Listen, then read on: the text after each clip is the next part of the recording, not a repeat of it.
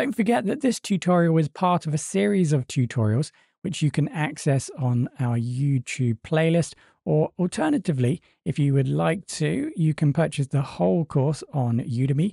There should be a link to the YouTube playlist and a link to our Udemy course, which should always provide the best price in the video description. Before we start the project, we are going to need to actually start a project.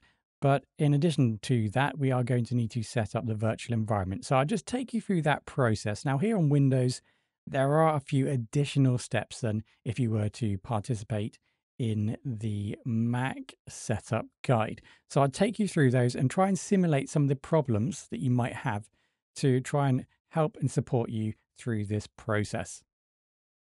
If you did miss the setup guides at the start of this course, you would have missed the process of installing extensions in preparation for development.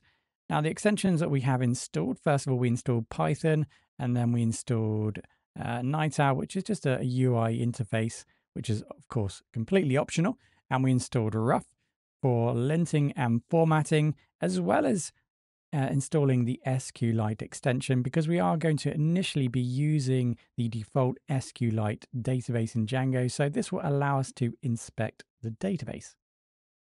Okay, so if you don't install these extensions, don't worry, you can still follow along, of course, but there may be some instances where you might see some automatic or automation in the code that I type, or potentially you will see some underlines to indicate errors, etc. Or I might press save and the data or the actual code will be automatically formatted. So these are the type of things you might see and miss out on if you don't install these extensions. All the tutorials in this course will be demonstrated on a Mac, but if you do smell and you are using Windows, I will provide additional guidance, so don't worry about that. The first step, whether you're on Windows or Mac, is to create a project folder. So it's entirely up to you where you create your project folder, of course. I think I'm just going to place a new folder on my desktop. So I'm going to add a new folder on my desktop. Let's just call this e-commerce. And I'll open that folder. This is now my folder on the left-hand side, and we can now start the project. Right, so first task is to create a virtual environment. We need to select terminal and new terminal. There is a shortcut for this, which you can utilize on the Mac keyboard. It's control and then the, the button above it on the keyboard. So the tilde um, key. So you press that, press that together, that will open and close the terminal. Right, so we're going to need to create a virtual environment. Now we are working within the virtual environment. Let's think of a virtual environment as a self-contained directory that contains Python interpreter and its standard library. It allows us to create an isolated environment for our Python projects. Now, I appreciate that you might not be familiar with virtual environments. I'm going to show you how to create so we can get started with our projects. But this is a way to isolate the packages and dependencies that we install for our project, which will prevent conflicts between different projects by keeping all of their dependencies for each project separate. I have now moved across to Windows so we can see the preparation for Windows, creating a new virtual environment.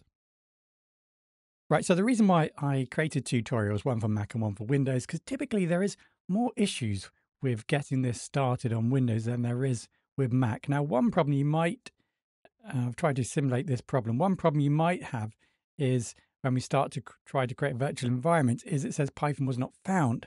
So that just indicates the fact that Python is probably not installed correctly. So just make sure that you've downloaded the correct version of Python for your particular hardware on your machine. And then sometimes it's just a case of restart in Visual Studio Code. Maybe you've installed and had it open, so hasn't quite taken all the settings. So just restart Visual Studio Code. Sometimes that can help too.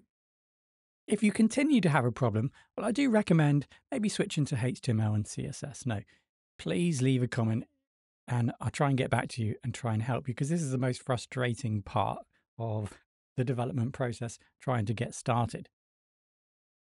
Right, so everything is working okay on this machine in actual fact version. So we do have 12 Python 3.12 installed. Right, so let's go ahead now and start to build our virtual environment. So back to the command that we are using previously, or I didn't actually introduce to you. So let's create a new virtual environment by typing in Python and then the M switch to then run virtual environment, create the virtual environment and install it in the venv folder. And of course, you can change that folder name at the end here to anything you like. With that done, we can now go ahead and start the virtual environment. So for that in Windows, we need to activate. So I type in dot space venv and then I pressed tab then and that finished the command for me. So I'm looking for the scripts folder. Inside of that, I'm looking for activate. So this is the second problem that you might have. There are a few different solutions to overcome this problem of initiating the virtual environment in Windows. You can just copy and paste this into uh, ChatGPT and it should give you some basic instructions. Now remember that if you don't have administrative privileges on your machine, maybe it's a work machine, then potentially you aren't going to be able to perform this task. So let's go for the simple solution first. If you don't own the machine, maybe it's a work machine, then what you can do is run the scope process, and that would try and bypass the execution policy temporarily to try and get it started. So that's one potential solution that might work for you. The second option is we need to use this search here. Let's uh, find the PowerShell, Windows PowerShell. We're going to right click on that and run as administrator. So I've typed in power into the search bar at the bottom, right clicked on Windows PowerShell, run as administrator. So yes, and now we can go ahead and add some commands. If I can maybe zoom in a bit, you can see the set execution policy, the minus scope, current user minus execution policy, remotely remote signed. So that's what you need to that's what you need to type in. Right, so once you've typed that in, press enter I think you'll be asked a question. So we're just going to use the capital Y for, or actually A, yes to all.